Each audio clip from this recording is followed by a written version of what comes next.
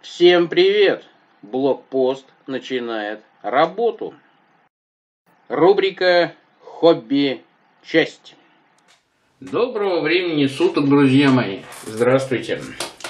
Запланировал я соорудить деревушку в таком, знаете ли, ближневосточном, может быть, древнеегипетском стиле. Домики у меня есть. Собственно, поле с рекою купил. Кто не смотрел, посмотрите на канале. Обзор выложен нового поля игрового. Вот, значит, соответственно, начиная большой проект, мне всегда нужно его как-то, знаете ли, а, хотя бы примерно визуализировать. Как я себе представляю вот эту вот самую египетскую, ну, а-ля египетскую деревушку. А, четыре домика. Как-то постараюсь их разместить э, на каком-то квадратном или прямоугольном основании. В центре колодчик. Ну, какая-то тут растительность. Возможно, там если жаба не задушит пару пальм, каких-нибудь я таких сооружу. Вот, значит, тут какие-нибудь будут заборчики, там как они называются, дувалы, да? Вот, значит, как-нибудь так построим заборчики. Вот, какие-то будут декорации. Наверное, где-то рядом будут располагаться поля. Ну, поля у меня есть. Не буду, конечно, делать фигурку пашущего египтянина, просто на это, честно сказать, нет времени. Вот. Э, ну что, примерно я себе деревушку представил. А вот что получится у меня в итоге и получится ли, узнаем совсем скоро. Ну что, начнем помолясь. Домики на, будут стоять, конечно же, на подставках из ПВХ. Вот, ну, как видите, тут я уже повырезал кое-что. ПВХ самый простой, двухмиллиметровый, у меня какие есть обрезки. Вот. Э, попытался я сформировать некий квадрат, прямоугольник. Для чего? Чтобы четко во время игры была видна граница деревни. Вот. Дома-то же будут не сплошь стоять. Ну, вот где-нибудь здесь попробуем сделать колодчик. Вот. Ну что, место готово, давайте переходить к самим домикам. Далее я решил пойти максимально простым путем. Так как домики у меня только маркеры, то все крыши я приклеил намертво, вот, а, соответственно, окна и двери заклеил квадратиками картона. Соответственно, окна буду просто красить тупо черной краской, а здесь налеплю досочки из шпона, чтобы имитировать дверь. И так будет во всех домиках. А, делал все на клеевой пистолет, но технологию показывать не буду, думаю, так все тут примерно понимают. Как известно, кому-то на помощь приходят Чип и Дейл. А мне, как ни странно это прозвучит, потолочная плитка. В целях борьбы с залежами барахла продолжаю утилизировать всякие разные остатки. Для чего я сделал эти заборчики, как там, дувалы? Ну, во-первых, такие заборы сразу оживляют э, пейзаж в этих уютных закоулочках можно разместить всякие шалобушки, которые прям здорово-здорово преобразят деревню, придадут ей живой вид. Ну и потом меня не оставляет надежда, что может быть однажды эта деревня станет ареной боя между какими-нибудь там сирийскими или афганскими бармалеями и нормальными пацанами. Ну, кто знает, жизнь длинная. В общем, забором быть. Вот такая вот получается охренительная история в охровых цветах. Ну, это так, типа грунта э, первоначальная. Вот. Ну, тут еще дофига работы, но примерно уже что-то начинает вырисовываться. Всегда начиная работу над террейном, надо четко осознавать одну вещь. Вот задумали вы, ну, допустим, э, деревню, делать надо все сразу. Вот я сделал домик один, да, а теперь стою и думаю, а как бы мне попасть в цвет, чтобы все дома деревни были примерно одинаковые? Непростая будет задача. Люблю при работе над terrain ом такие вот маленькие детальки. Вот, например, колодчик. Здесь, конечно, какую-нибудь фигурку надо еще поставить будет. А так, колодец сделан из, из пенопласта, колечко такое вырезал, обложил камушками натуральными на ПВА. Туда налил титана и сверху положил синюю такую пленочку. Ну, получилось довольно интересно. Ну, потом, когда будет готово, а, покажу уже окончательный вариант. Я вспомнил, что когда работал над этим домиком, то значит, сначала обклеивал его салфетками, а потом обмазывал шпаклевкой по дереву. Ну, для того, чтобы была некая текстура и как-то поинтереснее он выглядел. Вот, к счастью, в моих запасах нашлась вот такая вот баночка, шпаклевка по дереву, аж 14 -го года выпуска. Но так как она стояла запечатанная, то прекрасно, в общем, сохранилась. Сейчас буду обмазывать вот эти вот покупные домики. Ну, давайте начнем работать. По большому счету, э, почему мне захотелось эти домики обмазывать? Чтобы э, смягчить немножко вот эту, знаете, геометричность формы ну, на 3D принтере печататься, тут все ровненько, все четенько. А дома-то глинобитные, они же вот, ну, же из глины лепили. Они, в общем, по определению не могут быть такими вот прям ровными-ровными. Вот. Э, и вот чтобы получилась вот такая вот текстурка, да, мы вот обмазываем это все э, шпаклевка по дереву. Да, кстати, ни в коей мере это не рецепт, я просто предлагаю свой вариант. Шпаклевка достаточно густая, ну может у меня просто она уже засыхать начала, поэтому я ее разбавил водой до состояния такой вот жижи. Вот. И, собственно, поэтому мне не требуется там прям наносить сантиметровый слой этого на домики. Мне нужно просто создать некие такие бугры, неровности, чтобы при покраске домик ну, немножко заиграл. Ну, по крайней мере, такая идея. Предварительные итоги примерно такие. Сейчас все засохнет и уже дальше будем проводить финальную покраску. Блин, в этой шпаклевке весь уделался как настоящий каменчик. А, кстати, вот там вот в левом верхнем углу стоит, видите, такой домик маленький.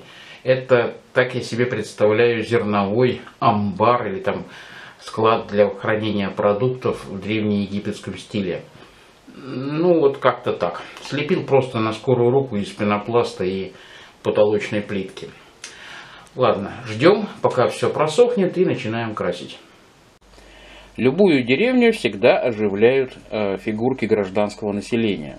Пусть они не играют никакой роли для сражения, но с ними деревушка выглядит ну как-то поживее. В общем, э, вот такие три персонажа будут в моей деревне. Я думаю, вы их все узнали. Это фигурки из набора а, древние египетских колесниц.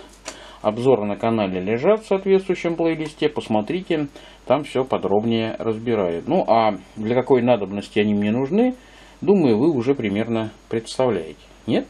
Не представляете? Ну тогда смотрите дальше, все покажу. Верный своему правилу никогда не выкидывать солдатиков и всем давать второй шанс, я использовал также и две фигурки от компании Airfix или там Nexus – это из набора древние египетские колесницы. Тоже обзор на канале лежит. Ну, в старости я немножко тут объемов придал. Там одеждой, какими-то украшениями, париком. Вот. Ну, а крестьянин, ну, ну, тощенький такой. Ну, живется трудно просто человеку. Для них тоже у меня придумана своя история, точнее, свои разные истории. Опять же, чуть позже все покажу. И обязательно предметы, потому что люди не могут жить просто в пустом пространстве без каких-то декораций. Вещи, которые я сделал сам, купил, вот это вот э, молот стрельца, а вот эти литые корзинки, всякие кувшинчики, я, я купил на, у одного парня э, в литеечке в одной, э, там, штук 200 сразу купил. Вот. Это слепил сам из шпона, э, стол из спичек, это вот из апоксилина в мешки тут слепил. Чудесно вышла лодочка такая египетская, похожа, согласитесь. Вот она сделана из кокосового волокна. Господи, что только у меня нет в запасах на самом деле. Как начал искать, как начал. И одно нашел, и другое, и третье. Ой, все, уронил. Специально все показываю вам не крашеное, чтобы было понятно. Вот. А уже потом вы все это увидите в соответствующих сценках. Я не знаю точно, но думаю, что в Древнем Египте люди старались возле домов какую-то зелень сажать, потому что, ну, как бы, кругом глина, песок, ну, хочется чего-то такого растительного. Ну, здесь две фирменных пальмы э, размещу, соответственно, это вот кусочек от какого-то коврика, там, чуть ли не в ритуальных услугах покупал. Вот. Э, ну, а это вот э, из набора этих, знаете, растений для аквариума. Распатронил одну штучку и примерно таких вот штучек налепил. Ну, типа каких-то кустиков. Вот эти эпоксилин и все. Прекрасно. Даже красить их, в принципе, не буду, потому что мне красиво зеленый не покрасить, я так не умею. Вот пусть оно будет вот так. Ну, вот этот эпоксилин замажу только. Вот. И все вместе это должно создать такую интересную картинку. Ну, я ее себе уже в голове представляю, вы, возможно, тоже, а если нет, то не переключайтесь, все покажу. Пока не поставил на базу, вот решил со всех сторон похвастаться, показать мула. Первый раз вообще в жизни крашу такой, такого животного. Ну, то есть, можно бы как лошадку, конечно, его покрасить, но хотелось как-то немножко так аутентично нашел картинку, так подсматривал на нее, ну, получилось не шибко похоже. Но в целом, вот более-менее, вот я так хотел, чтобы пузико было серое, ну, а э, ближе там к гриве все темнее и темнее. В общем, вот как получилось, я очень доволен. Упряжь самая простая, потому что это крестьянский мул, поэтому никаких тут особенных украшательств не будет. И вот он, э, итоговый готовый результат обжитая деревня с населением, с какими-то декорациями. Давненько я такого удовольствия не получал от покраски, от творчества. Такие большие проекты, они, конечно, здорово так вдохновляют. Хотя, если честно, а, вот весь, весь фронт работы, от, от грунтовки вот до сегодняшнего момента у меня прошло 7 дней. 7 дней разных манипуляций с этими штуками. Ну и третий съемочный день, кстати говоря. Вот, так что хоббические ролики, конечно, на канале будут, но слишком часто их снимать я не смогу, просто потому что, ну вот как выйду на работу, так и все. Так и времени нет. Ну ладно, давайте поближе посмотрим, как говорится, всю мякотку этой самой конструкции. Стряхнем пыль с вращающегося подиума. Первая часть деревни – это колодец и женщина, пришедшая за водой. Ну, не очень понятно, как она будет черпать эту воду. Наверное, прямо, так сказать, перегнется и кувшином зачерпнет. Это я не доработал. Ну, а в целом, как видите, все очень просто, легко и без всяких сложностей. Красить фигурку было удивительно легко. Просто вот компания «Цезарь», вы молодцы. А, ну, пошли дальше. Так, первый домик в деревне, это так называемый домик рыбака. Ну, сеть сделана из бинта, тут покрасил жидко разведенной краской. Лодочку я вам говорил, ну, весло вырезал из какой-то деревяшки. Немножко зелени. Ну, дом в меру облупившийся, но это такая вот фирменная текстура. Так, на этой стороне у нас ничего особенного, в принципе, а, так сказать. И вот он главный вход в дом. Самого рыбака нет, он зашел домой, наверное, чайку попить или что там они, египтяне пили, не знаю. А, стол, э, пустая корзина, рыба, мелкую рыбу он, видимо, домой унес, а крупную выложил на стол, сейчас будет разделывать и развешивать, сушиться. Ну, вот такая вот, как мне показалась, история. Не знаю, получилось или нет, но по мне так все здесь неплохо. Второй домик – это так называемая лачуга земледельца, ну или домик земледельца.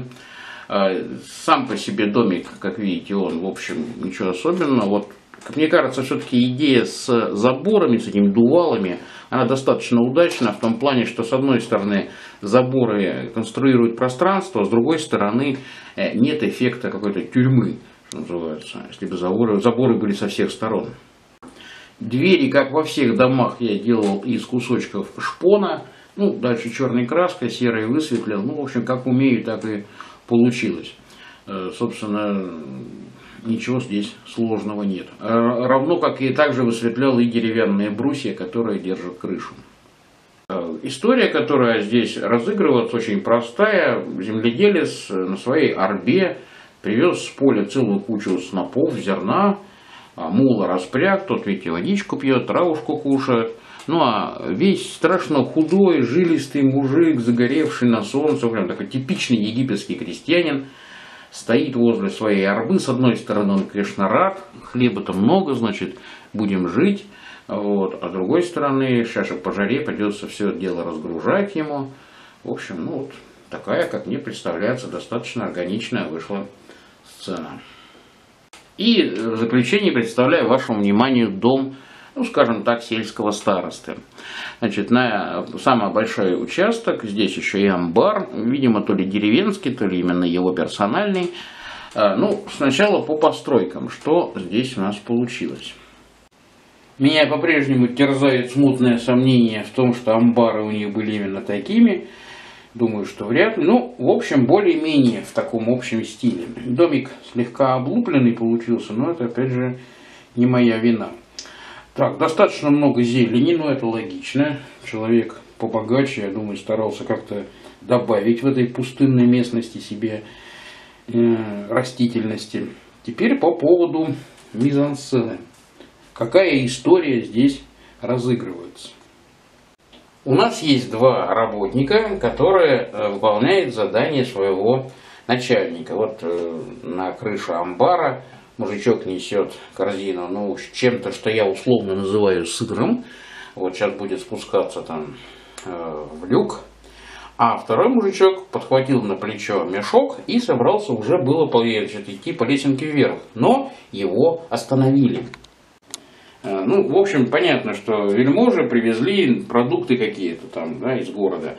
И он решил их запихать в свой амбар, чтобы там никто не украл, не съел. И вот два мужичка таскают эти самые грузы. И вот этот товарищ в красной шапочке взял мешок зерна, пошел и уронил амфору с вином. А староста-то стоял наверху, заметил, кубарем вниз, и бежит, орет, кричит, ах ты, сын Анубиса, отродье Кипопотама, что ж ты делаешь-то, глаза-то разуй, блин, это ж критское вино, оно ж дорогущее, а все, вино-то уже, считай, и пролилось.